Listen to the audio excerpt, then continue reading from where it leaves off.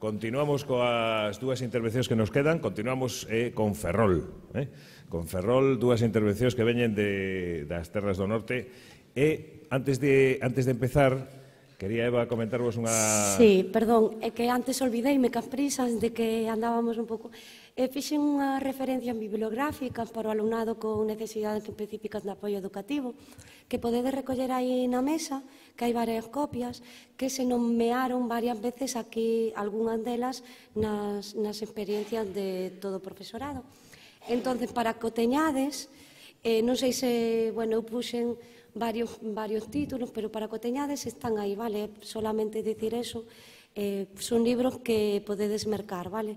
Pero bueno, que, que tamén me olvidei antes que o mellor é facer un libro para, para o alumno. No caso de que que vedes aí na, na mesa, hai un libro que pon Mara, que é un libro específico para unha nena do colexio, que se chama Mara, vale?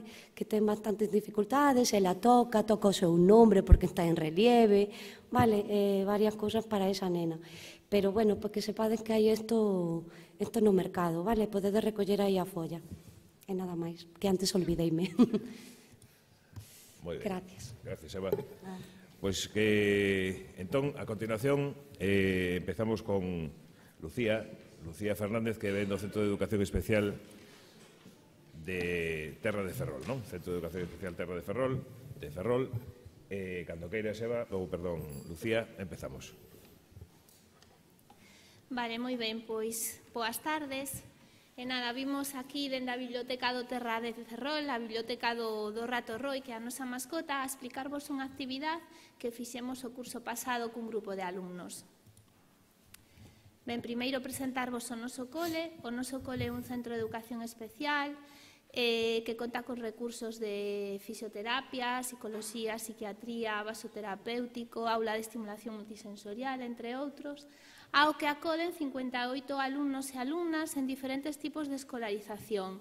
Temos alumnado que está en régimen de externado, alumnado en régimen de internado, actualmente penso que son 10 alumnos, eh, temos alumnado que ven en escolarización combinada con outros centros da zona. Eh, estamos organizados en 11 aulas, a media de alumnado está entre 4 e 5, dependendo das características do mesmo, E temos a maiores dúas aulas de programas formativos de FP básica, de xardinería e de restauración. Foi con este último alumnado eh, co que fixemos a actividade que vos, ven, que vos vimos contar. Ben, esta é unha foto da nosa biblioteca. A nosa biblioteca é un novo espazo que inauguramos no curso 2014-2015 e que temos organizado por recunchos. Aí vedes a man dereita eh, as librarías cos libros organizados por niveis eh, para préstamo para casa ou para consultas dende a biblioteca. Temos unha zona de traballo en grupo, que é esa mesa que vedes aí. Temos dúas zonas de lectura relaxada, Eh, temos unha zona de expositores que son os andeis que vedes a man esquerda, que son onde expoñemos as, os materiais de consulta sobre os proxectos que estamos a levar a cabo dende a biblioteca. Temos unha zona de un recuncho de zona de xogos e temos unha zona, non sei se vedes na libraría, hai unha, unha cortina, temos un riel que vai dun lado a outro da biblioteca que aproveitamos para facer a zona de teatralización. Eh, os mobles movémolos porque teñen rodas e creamos aí un espazo como se fora un escenario, donde facemos contacontos ou teatro. Eh, temos un blog que é o recuncho do Ratoroi Blogspot que despois volo ensinarei eh, temos mochilas viaxeiras iniciamos deste curso o préstamo de libros para casa eh, traballamos con proxectos. Este ano é o Rato Roi viaxa polo mundo, a nosa mascota escribe cartas aos nenos dende diferentes países e dende as aulas traballamos ese país, coñecendo e despois xa facemos unha aposta común de todo o que aprendimos. Ben, actividade que vos vimos a presentar e facemos unha curta. De onde xorde a idea de facer unha curta metraxe cos nosos alumnos? Pois, por un lado, xorde dende a biblioteca. Eh, parecíanos interesante facer co alumnado para fomentar a lectura eh, miniclubs de libros de lectura. Eh, miniclubs de lectura. Eh, coller un libro, millor que poida ter unha peli para enganchalos e motivalos de alguna maneira, facer eh, debates entre nós eh, e poder facer unha actividade a partir dese libro. Entón, por outro lado, dende as aulas dos programas formativos, dende o módulo de comunicación e sociedade, dende a área de galego, queríamos fomentar o uso da nosa lingua e parecíanos interesante introducir estes miniclubs de lectura dentro da, da área de galego. Escollimos o libro de Sechusende para traballar co alumnado e propuxemos de facer unha curtametraxe sobre un, sobre un dos relatos do mesmo.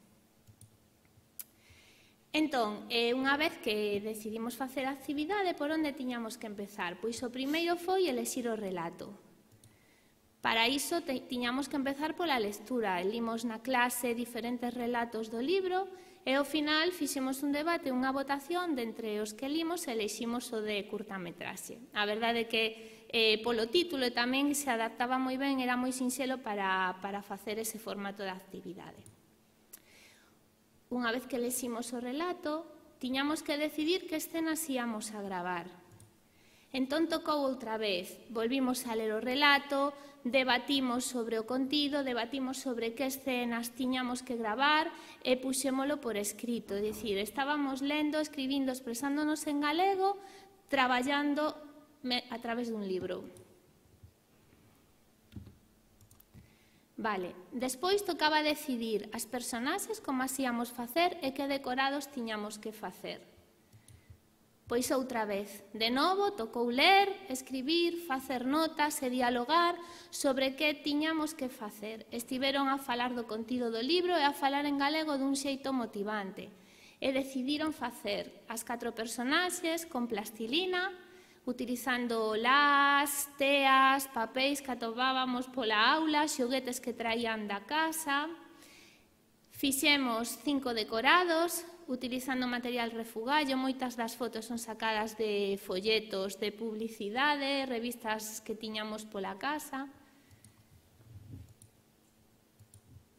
E despois de ter todo isto preparado, podíamos empezar a gravar, pero había un tema moi importante que queríamos traballar con noso alumnado, que era o tema da Lei de Propiedade Intelectual. Tiñamos dúas obras, por un lado, o libro de Sechusende, sobre o que iba, ia a basarse a curta, e por outro lado, o libro de Paco Nogueiras, que leximos unha das súas cancións para, para ambientar a curta. Entón, eh, falamos cos nenos de que estas obras teñen os seus autores, os seus creadores, e a eles a quen lles pertence É moi importante, parecíanos importante concienciar que hoxe en día estamos acostumados a descargar música, pelis de xeito, pois sen respetar a súa autoría. Entón, parecenos moi importante. Entón, queríamos que foran os alumnos os que, os que se puxeran en contacto con eles os que lles pediran permiso. Entón, previamente as mestras puxémonos a través de Facebook, contactamos con eles e pedimoslle un correo explicándolle un pouco que, o que queríamos facer. E nada, entón escribironlle un correo a Sechu, traballamos dende a aula tamén eh, as partes que tiña que ter un correo, como había que escribir un correo, e despois baixamos a, a biblioteca a enviar o correo un Sechu, nada aquí presentáronse, dixeronlle que se lle daba permiso para utilizar o relato do seu libro Made in Galiza porque querían facer unha curta. Eh, nada, tanto Sechu como Paco responderon rapidamente, dándolles ánimos, eh, contestaba Sechu, para mí unha honra, un relato meu sexa inspirador dun proxecto como a voso, esa historia vosa, por suposto, alegrome tanto. Bueno, os rapaces fixolles moita ilusión que os autores dos libros sobre os que estaban a traballar que tiveran en contacto con eles e que os animaran así.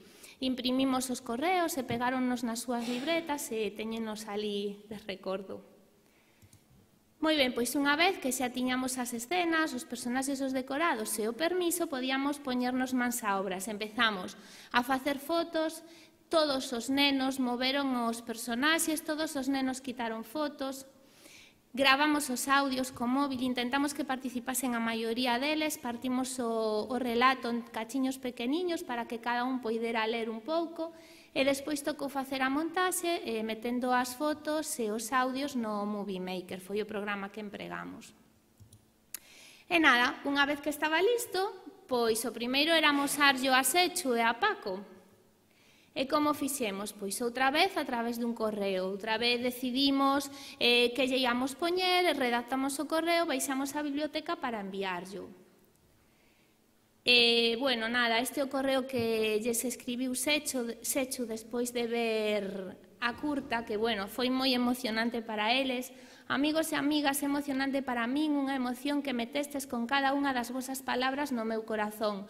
Ver o vosso traballo podo imaginar moito traballo e sei que ese orgullo que sentides por ter rematado este proxecto é moi grande, porque un grupo de xente nova que fai algo así, cinco minutos de animación, ten que ser un equipo cheo de enerxía, potencia, fraternidade, vontade de procurar chegar máis alá dos límites, Parabén as persoas que impulsastes cada brazo, perna, cabeza de plastilina, que deseñaches cada detalle dos escenarios, que tivestes cada idea, que prendestes cada foco de luz, que pronunciaches cada palabra, cada onomatopeia, que editastes cada segundo de vídeo.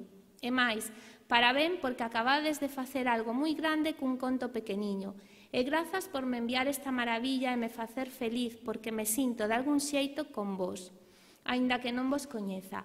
Abrazo grande e moita sorte no camiño. É unha honra para min formar parte disto que semella un sono.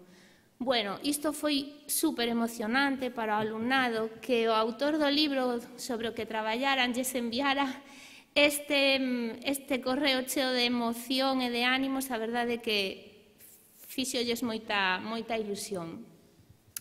Bueno, nada, subímolo ao blog e ao Youtube, Aquí temos a entrada. Este noso blog, esta é a nosa mascota, o rato Roy, e nada, está, está explicando un pouco pois cales son as fases e o proceso que seguimos para facer a actividade, despois está a curta e as fotos de, de cando os rapaces o presentaron. Vale, despois de subilo, pois fixeron esa, tiñan que presentarlle o seu traballo o resto de profesorado e o resto de alumnado. Entón, para, era a nosa estrea, para facer esa estrea, prepararon unha exposición cos libros de Sechu, co libro de Paco, cos decorados que fixeron, cos bonecos, puxeron os correos pegados para que todos os poideran ler, e preparamos unha presentación na aula. E Pensamos que tiñamos que dicir, que tiñamos que contar, que tiñan que contar o resto dos alumnos e preparamos unha tarxeta e por grupos ian saindo. Todos participaron o día o día da presentación. Temos aquí fotos, este foi o decorado que prepararon, que, bueno, a presentación non puido ser na biblioteca porque non contábamos con pizarra digital e precisábamola para proxectar a curta, entón tivo que ser na sala, na sala de xuntas, que preferíamos que fose na biblioteca. Despois esta exposición puxose na entrada do, do cole ata finais de curso para que todo o mundo que fora ali pois a poidera ver e presumir os nenos do traballo que fixeran. Aquí esta presentación ian saindo por grupos explicando as fases, o mesmo que vos estou explicando agora, pois explicaron yo eles ao resto dos compañeiros. E despois tocou ver a curta, que vou la vou poñer agora.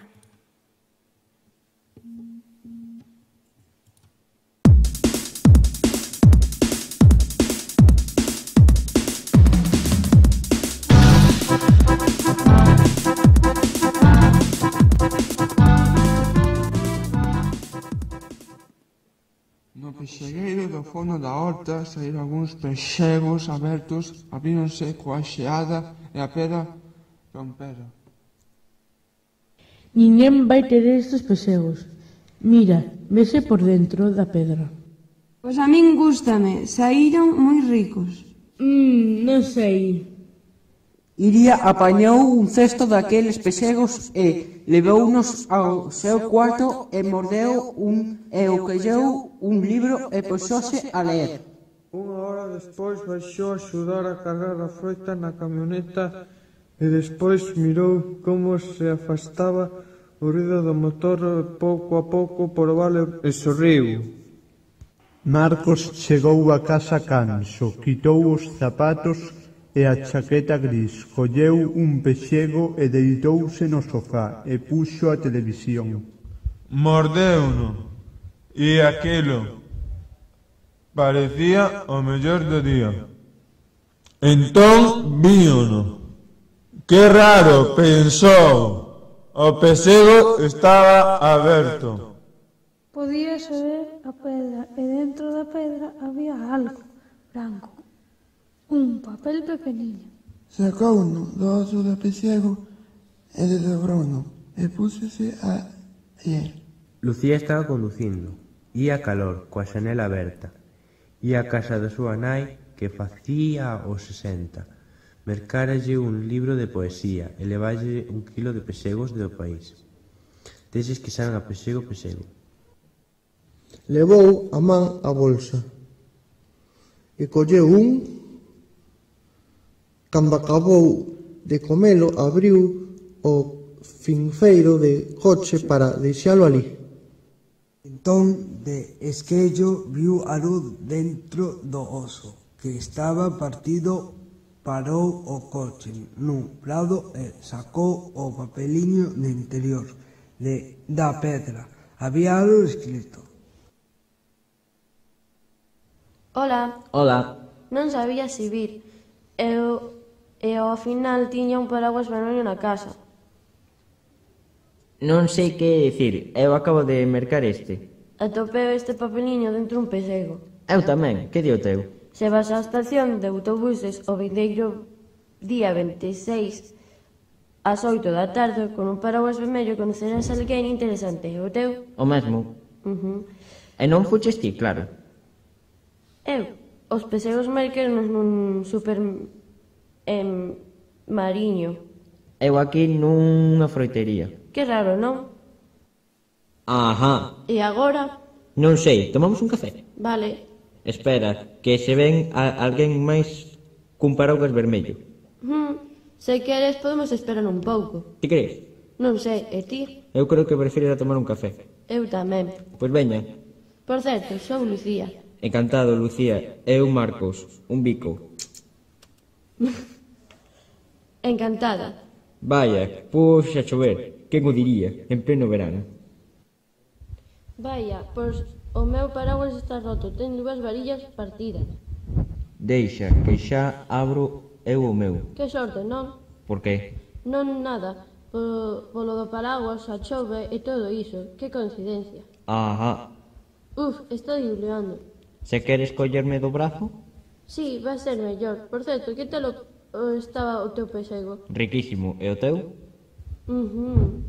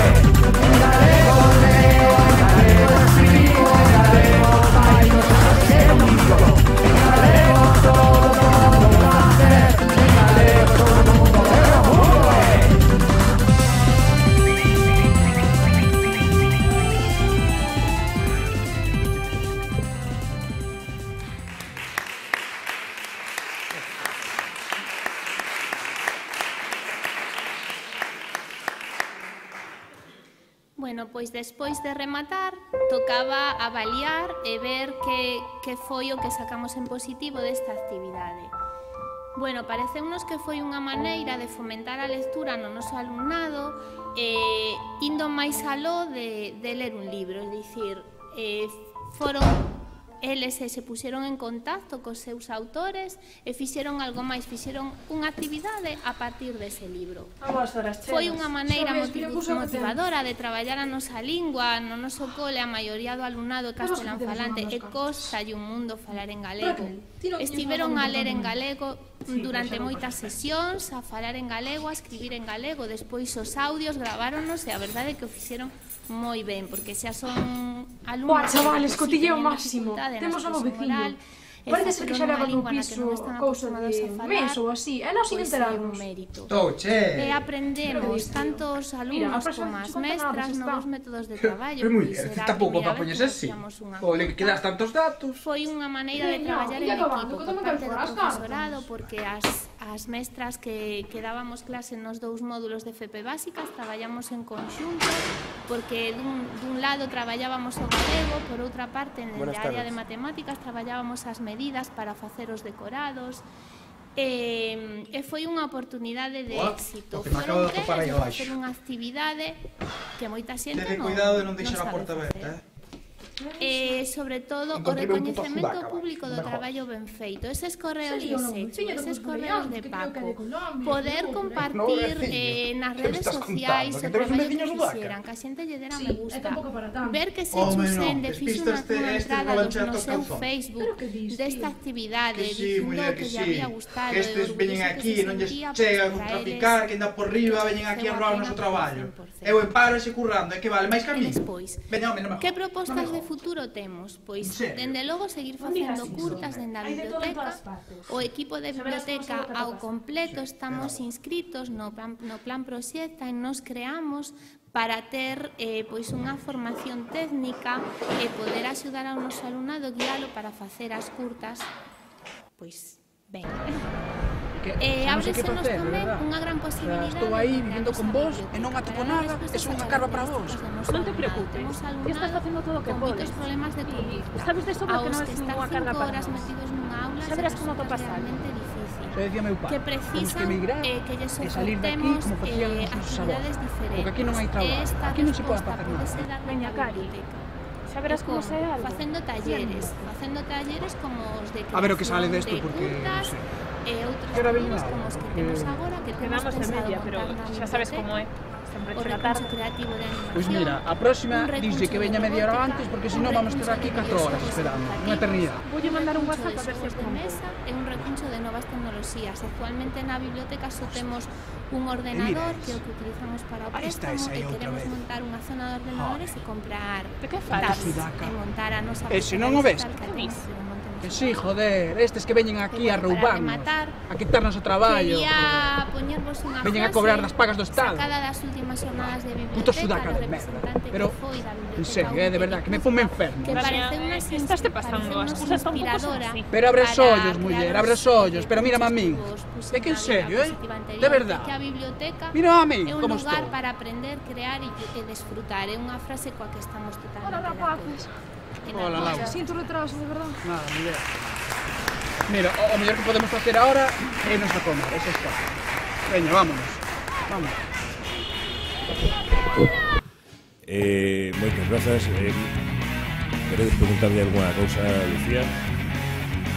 Algún, unha aclaración, algún detalle sobre este traballo tan interesante que nos presentou? Como que que estou facendo? Pero que bueno, pois pues, entón, moitas grazas. Lucía, continuamos entón, pasamos a